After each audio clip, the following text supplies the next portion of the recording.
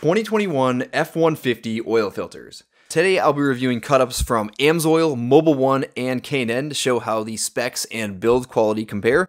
These models in particular are compatible with the 3.3, 3.5, and 5.0 liter engines you can get from the 2021 F150, which is most of your options.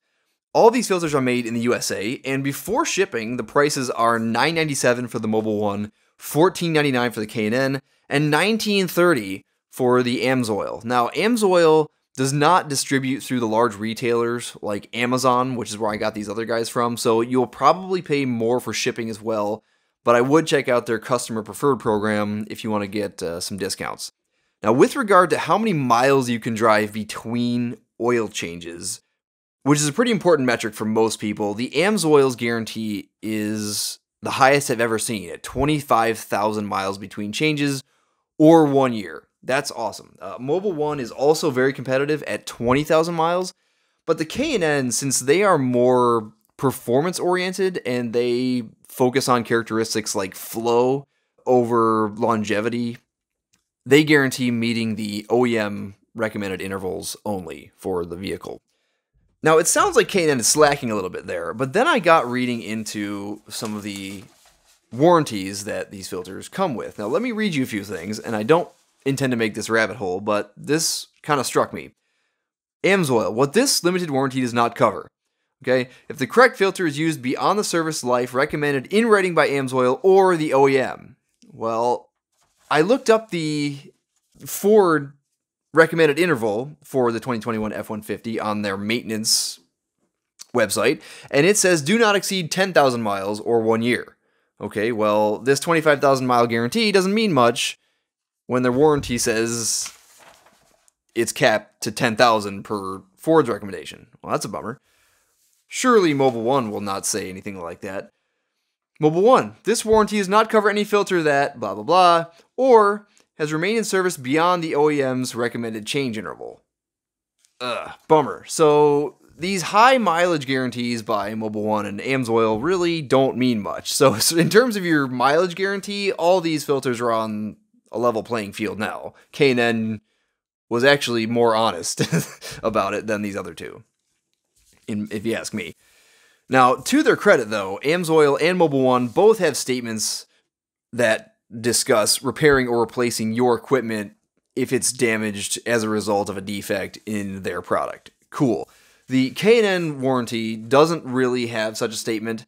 It seems to only cover the product itself and something I did notice in the section that talks about what their warranty doesn't cover, it does not cover damage due to blah blah blah, any type of racing or competition or any off-road use. Well, the racing or off-road or just general performance segment is kind of their target market. So that's a little it's understandable, but it's kind of disheartening that their warranty doesn't apply if you use it kind of the way their marketing suggests most people are going to use it.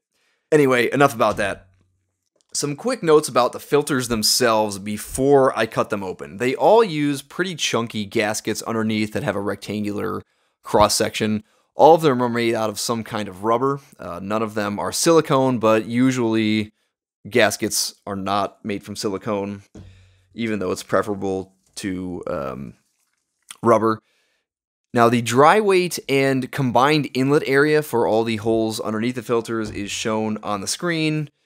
And one more note, the K&N Gold filter, which I have here, they feature a one inch welded nut on the top of the can, which you can uh, use to help remove the filter. And they also include a through hole that you can string safety wire through to prevent the filter from working itself loose during service, which is a pretty awesome safety feature.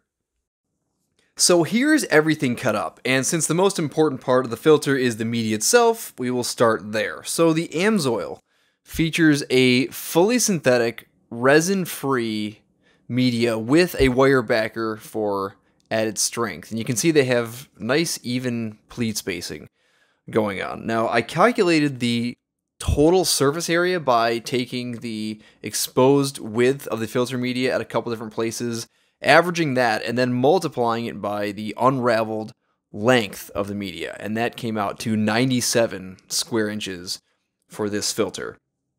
The efficiency according to their packaging, is 99% at 20 microns per the ISO 454812 test, which is excellent. They make a point that the competition may not be testing at the same 20 micron level.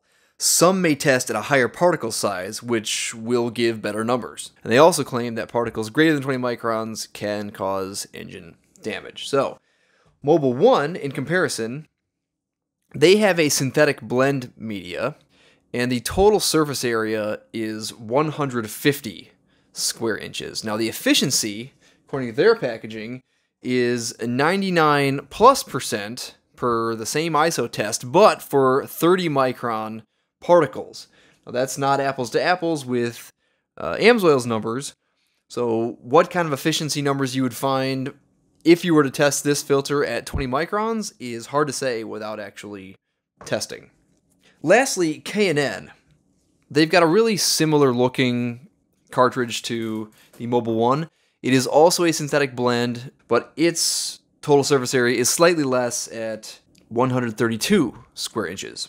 K&N kind of dodges the efficiency question though by stating on their FAQ page that their filters are designed to meet or exceed OEM specs, but that's as particular as they get. As far as the other components are concerned, there was a lot of similarity, particularly between the AMSOIL and the K&N, which I believe directly shared some common components. The pressure relief valves for these two filters are the standard injection molded nylon poppet style that I first saw on a Fram filter a couple years ago. But the Mobil 1, though, had a pretty neat all metal design that I've never seen before. It looks like just a, a single stamped little piece here that acts as the spring, and that's got some kind of rivet to this um, cap here on the inside. Pretty neat. It's also quite stiff, but this isn't, it's hardly a scientific test to push on it with my thumb, so I'm going to make no claims about that. The anti-drainback valves uh, appear to be the same exactly between K&N and AMSOIL, but in any case, all three of these are made from silicone, which is what you want for the um, best performance when it comes to extreme temperature variation. The center tubes look to be all identical, actually, because they're they they've got the same steel construction with a helical seam and the rolled louvers. Now, upon closer inspection, I did notice that the louver depth is appears to be the deepest on the K and N filters, but that may just be general process variation rather than something that was done intentionally. But if it was intentional, it does seem to be consistent with K&N's emphasis on high flow. So I'll let you draw your own conclusion there. Lastly, the cases. The AMSOIL and K&N cases are both 20 thousandths thick for enhanced burst pressure performance and general rigidity uh, strength to resist rock strikes and things like that. While the Mobil 1 is only 15 thousandths thick, and those are generally the two different thicknesses I ever see when I do these kinds of cutups. So in conclusion, I think that AMSOIL will give you the highest quality filtration thanks to their fully synthetic media. And despite having the lowest surface area overall, they still guarantee the highest mileage capability at their at their 25,000 level. So you're kind of getting the best of both worlds, which explains why the cost is so much higher and whether that's worth it is up to you. So, thanks for watching and I hope you found this video useful.